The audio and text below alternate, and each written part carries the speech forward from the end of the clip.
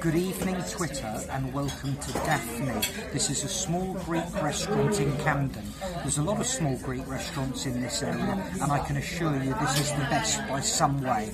It's been recommended to me by John Henwood. He's not only a bookmaker, he's also a London historian an expert and a good judge of a restaurant. Uh, this here is a real value. This, for me, is what London uh, life is about. You can find different places of all different budgets, all different cuisines, and Daphne is one of them. Family run, everything homemade, everything freshly cooked with a really deep taste to it. Not heavy like a lot of Greek food is, not salty like a lot of Greek food is, just right. Uh, a lovely older couple own and run the place. They're very helpful. They come over, they'll talk you through. Thank you very much.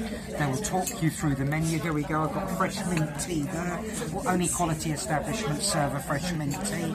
Um, I really, really do like this place. I had a, a swordfish. I would say it's the best swordfish I've ever eaten. For a main, for a starter, chicken liver, excellent. No dolmades on the menu. That's a negative. I didn't like the taramasalata. That's a negative. But the hummus was superb. Um, I've got here. Uh, uh, I've got baklava. I've got rice pudding.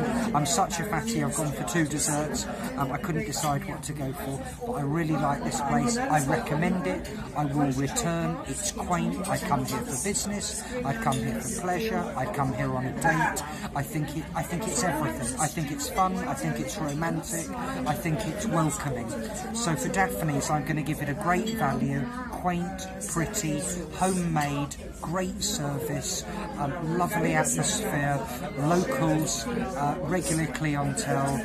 Uh, check it out. Nine out of